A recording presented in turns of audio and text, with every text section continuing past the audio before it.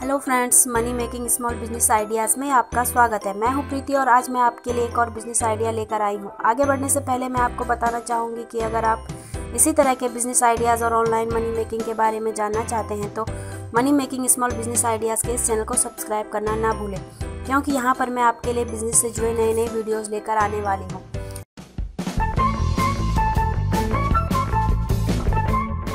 दोस्तों, आज मैं आपको डिजिटल पेमेंट सेंटर से बिज़नेस करने संबंधी जानकारी देने वाली हूँ। देश में जब से नोटबंदी हुई है, तब से बिज़नेस के नए नए अवसर भी प्राप्त हो रहे हैं और कमाई के भी नए अवसर मिल रहे हैं। तो ऐसे में इन मौक़ों का फ़ायदा उठाना आपके लिए काफ़ी फ़ायदेमंद हो सकता है।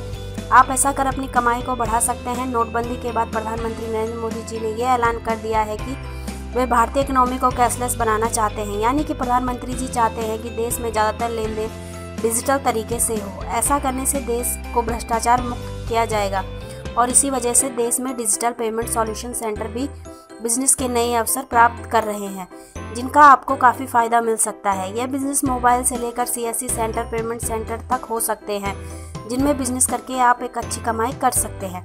National payment corporation of India Bharat bill payment system शुरू करने जा रहा है।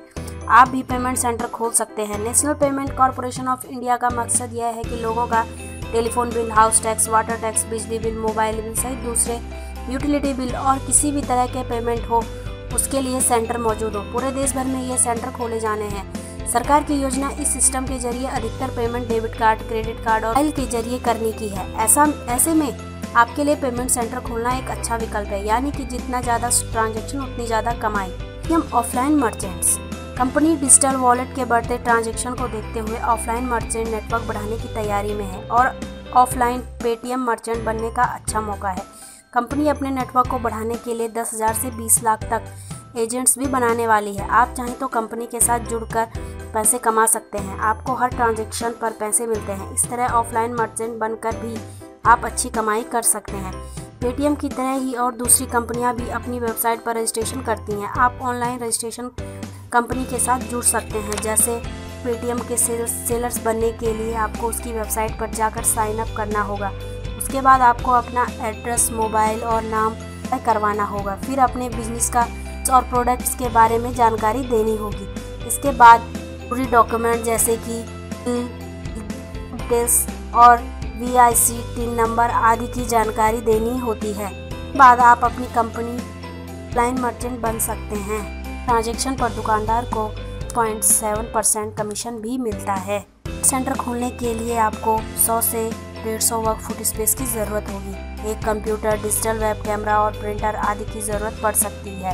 कि आप धीरे धीरे इसको बढ़ा सकते हैं। दोस्तों, ये थी डिजिटल पेमेंट सेंटर खोलकर कैसे पचास हज़ार से एक लाख महीना कमाई करें, उसके बारे में जानकारी। उम्मीद करती हूँ आपको यह वीडियो पसंद आया होगा। अगर आपको यह वीडियो पसंद आया हो तो प्लीज़ इसे लाइक करें, शेयर करें और अगर आपका कोई सवाल हो तो कमेंट बॉक्स में कमेंट करें। मैं जवाब देने की पूरी कोशिश करूँगी। अगर आपने अभी तक मेरे इस यूट्यूब चैनल को सब्सक्राइब नहीं किया है तो इसे सब्सक्राइब कर लें। सब्सक्राइब करने से मेरे आने वाले हर वीडियो का नोटिफिकेशन आप तक पहुँच जाएगा। ओके दोस्तों, मिलती हूँ अपने अगले बिज़नेस आइडियाज़ के साथ। तब तक के लिए बाय बाय